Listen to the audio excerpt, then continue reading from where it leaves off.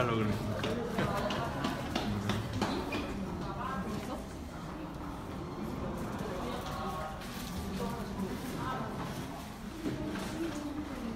그럼 언제 수원에 한번 갑시다. GS랑 할 때? 한번 통곡도 상관. 마무